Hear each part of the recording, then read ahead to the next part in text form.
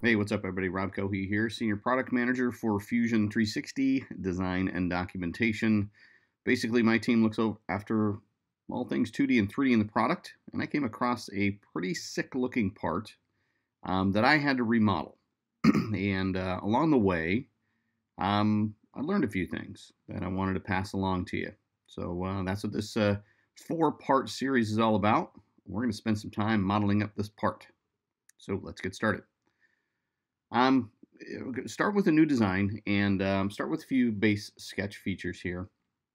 Now, um, if you watched any of the previous um, uh, tutorials that I've put out here recently, um, I always try to start uh, a part from origin. Um, it gives me three work planes and three axes and an origin point that I would have otherwise have to create. Um, so this is really handy. So just real quick, uh, uh, uh, circle extruded. Nothing's fancy here. And um, if you want to, you don't have to, but I, I, like to I like to church up my my parts a little bit, go a little Joe Dirt on you. Um, so here, you know, you hit A, appearances come up, and you can search through the library, um, pick some color that may be obnoxious, um, maybe less obnoxious. Um, and trust me, I'm, I'm actually not going to stick with this red very long because it does get a little annoying on the screen after a while. Um, so I've got my first sketch, um, changed the appearance of it, and I start a new sketch on this next feature. And, and 90 millimeter circle that I'm going to go ahead and extrude, but I need to add some taper to this. Um, so rather than extrude it and do draft, um, you can actually do um, a taper draft uh, within the same command um, so that you don't have to go through that extra step. So I'm just going to put a negative 2 taper angle uh, on this extrusion, um, extrude this thing out, about 33 millimeters, and good to go. Um, you start to see the shape, and you're like, two extruded circles. Rob, why didn't you just do a um, do a revolution, um, sketch the profile and revolve around? More than reasonable. Um, why would I have two features instead of just one revolution? Uh, no real preference there, uh, quite honestly. Um, but you know, as I carry forward, I'm going to put a fillet. Um, notice I was able to do the two differently sized fillets in the same command, and then throw a chamfer on there, and this thing's starting to look a little bit like a part. Okay, so the next thing I'm going to do is a little bit more um, complex series of sketches here. Um, and sometimes when you're modeling, um, you need to be able to get some material out of the way. So you see this in the sketch palette, you have the ability to slice those graphics. Um, and what I'm going to do is I'm going to sketch a construction geometry, construction circle um, on here because that the construction geometry doesn't count in a profile when you go to do an extrude. Um, but I need that construction geometry for placement. Now notice also that um, I want to go ahead and project the outside edge. So I have reference to the outside edge. So P um, in the uh, selection there. and then I'm going to go over and turn off the visibility of the bodies. Super, super handy when you're just concentrating on your sketch. Go over the bodies, turn off visibility, and it's off. So a couple more construction lines. So I want a reference to horizontal. I want another reference to what will eventually be a specific angle. Okay. Um, and then I'm going to go ahead and place a circle on that intersection point between those two construction lines. Okay, it'll be a 19 millimeter diameter circle there. And then as you can see that I haven't dimensioned yet the angle. Um, so I'll place a quick dimension on the angle, placing exactly where I want, uh, 22 and a half. I could have also done an equation in here, by the way.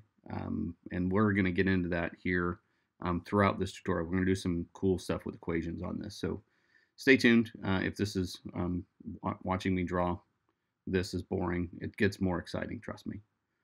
So I'm going to grab a circular pattern of that. I want eight instances evenly distributed around 360 degrees. Um, and I'll go ahead and hit OK. Cool. Now, the thing about what I've just sketched is um, you can see that it actually extends beyond uh, that circle extends a little bit beyond the uh, outer edge of the projected geometry here, but that's exactly what I want. So I want this to be cut off. It needs to have a, a, a smooth um, surface intersection with, even though it's it's um, uh, it's got a fillet on there, it, it actually creates a pretty cool looking shape here. So I'm going to do a two distance extrude. Um, I'll go two millimeters in one direction, change the termination plane to the back uh, face of that. And I'm going to hit OK. And, and you're thinking, why, why, why did you do a circular pattern um, of those sketch objects that you're not actually going to use? There's a method my madness here. So I'm going to go ahead and turn the visibility of that sketch back on. And I'm going to do a separate extrude for these other two um, bosses up here. Okay. Um, and I'm also going to do a separate fillet.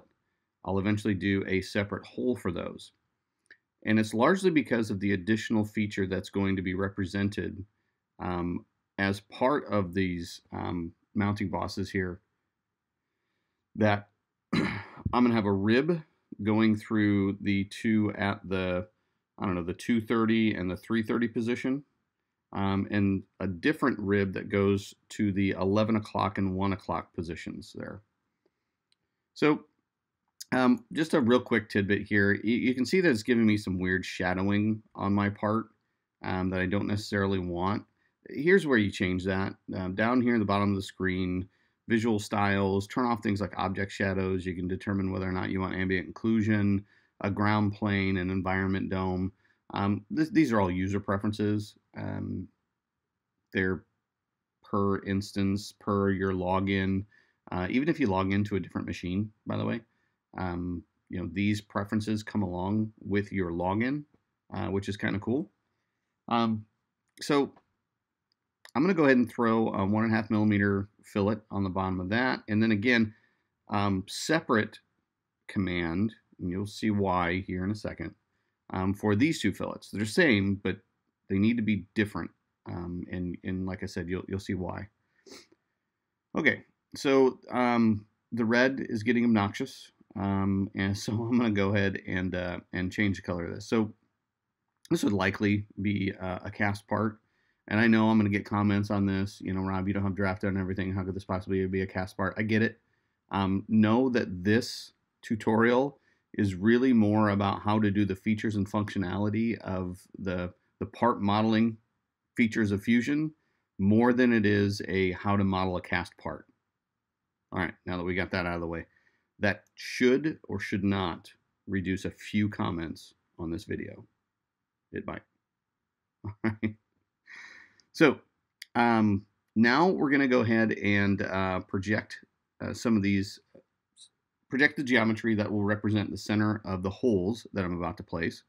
Um, but again, just like I did a separate uh, extrude and fillet, um, I want a separate command or a separate feature um, for these holes.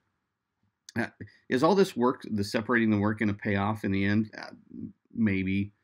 Could there? Is there another way to model this? Probably. Um, but this is the way that my um, insane the, three of the four voices in my head uh, told me to model it this way. So um, I listened to the uh, majority. So um, we've got our part in a really good spot. Part two, we're going to go ahead and place the rib, do some mirrors, some circular patterns. It's going to be awesome.